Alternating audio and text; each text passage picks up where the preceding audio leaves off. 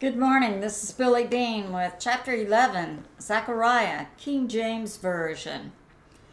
Open your doors, O Lebanon, that the fire may devour, devour your cedars. Howl, fir tree, for the cedar is fallen, because the mighty are spoiled. Howl, O you oaks of Bashan, for the forest of the vintage is come down. There is a voice of the howling of the shepherds for their glory is spoiled. A voice of the roaring of young lions, for the pride of Jordan is spoiled. Thus says the Lord my God Feed the flock of the slaughter, whose possessors slay them, and hold themselves not guilty. And they that sell them say, Blessed be the Lord, for I am rich. And their own shepherds pity them not for I will no more pity the inhabitants of the land, says the Lord, but lo, I will deliver the men every one into his neighbor's hand, and into the hand of his king. And they shall smite the land, and out of their hand I will not deliver them. And I will feed the flock of slaughter, even you, O poor of the flock. And I took unto me two staves the one I called Beauty, and the other I called Bands, and I fed the flock. Three shepherds also I cut off in one month, and my soul loathed them, and their soul also abhorred me.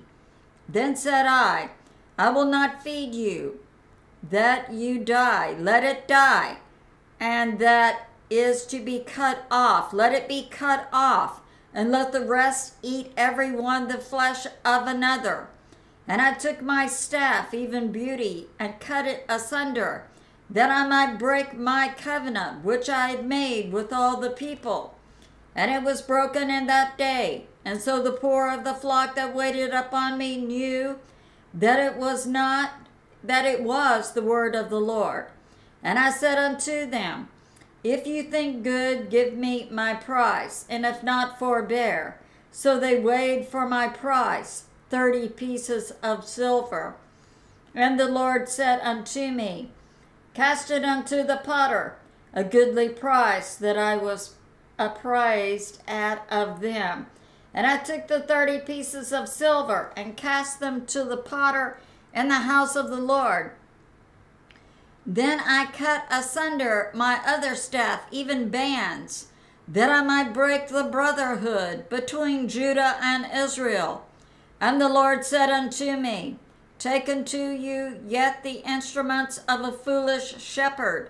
For lo, I will raise up a shepherd in the land, which shall not visit those that be cut off, neither shall seek the young one, nor heal that which is broken, nor feed that which stands still.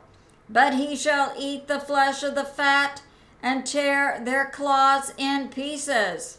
Woe to the idle shepherd that leaves the flock. The sword shall be upon his arm and upon his right eye. His arm shall be clean dried up, and his right eye shall be utterly darkened. So have a blessed day. I love you, and I'll see you soon.